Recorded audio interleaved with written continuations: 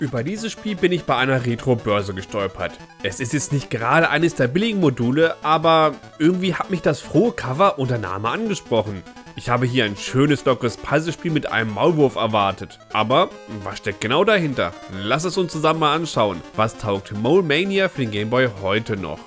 Das Spiel wurde von Pax Softonica entwickelt und extrem spät für Gameboy-Verhältnisse 1997 von Nintendo direkt veröffentlicht. In Japan heißt das Spiel Mogura Nya und erschien ein Jahr früher. In der heutigen Zeit kann man Mo Mania in der virtuellen Konsole des 3DS käuflich erwärmen. Jinbei, der böse Farmer, entführt eure Kinder und eure Frau. Und dann macht er sie auch noch lustig über euch und hinterlässt eine Botschaft. Komm, hol sie! Na, der Herausforderung stellen wir uns doch gerne. Im Kern ist das Spiel ein Action-Puzzler. Ihr seid der Maulwurf Muddy und befindet euch jemand in Levelabschnitten, die den ganzen Bildschirm einnehmen. Also in ganz vielen Spielen wie Link's Awakening. Eure Aufgabe ist es nun zum Ausgang des Abschnittes zu geraten und damit einen neuen Bildschirm und ein neues Rätsel zu betreten. Jeder der acht Level ist in solche Abschnitte aufgeteilt. Aber Moment mal, acht Level? Ist das nicht etwas wenig? Das klingt zwar nicht nach viel, aber die Level bzw. Welten nenne ich sie einfach mal, sind einfach riesig. Ihr habt also durchaus ordentlich was zu tun. Also, wie gestalten sich nun diese Rätsel? Im Prinzip müsst ihr meistens mit einer Kugel einen Stein am Ausgang zerstören. Eure Aufgabe ist es nun herauszufinden, wie ihr diese Kugel dorthin buxiert. Es lauern nämlich Gegner auf euch und ihr müsst auch auf die Löcher aufpassen. Fährt die Kugel da nämlich hinein, erscheint sie wieder beim Startpunkt. Die Kugel könnt ihr dabei entweder ziehen oder schieben.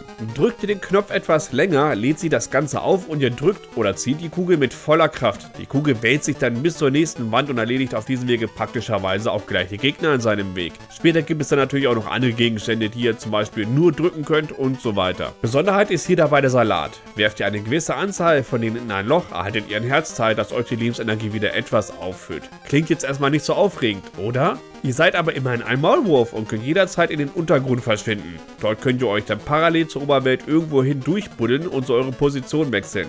Versperrt euch eine Wand den Weg? Kein Problem, buddeln wir uns den Weg einfach frei. Allerdings geht das meistens natürlich nicht ganz so frei und auch unterhalb der Erde sind Mauern. Bei eurer Buddelei müsst ihr also natürlich auch aufpassen. Wenn ihr wieder an die Oberfläche kommt, erschafft ihr natürlich wieder ein Loch.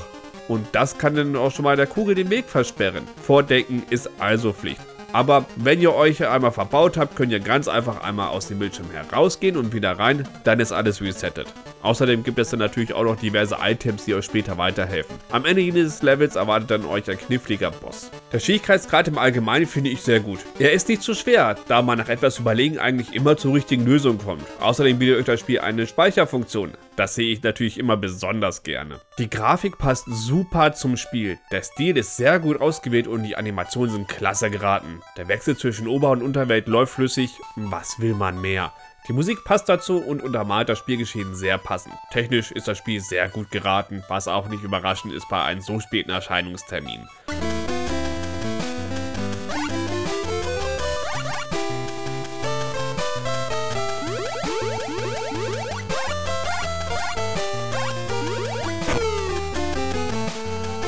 Was taugt Mole Mania für den Gameboy heute noch?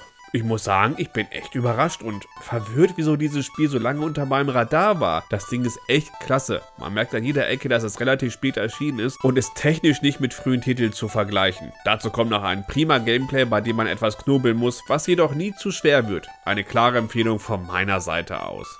Das war der Test zu Mole Mania für den Gameboy. Wenn es euch gefallen hat, wisst ihr, was da tun ist und ansonsten sehen oder hören wir uns beim nächsten Mal. Macht's gut.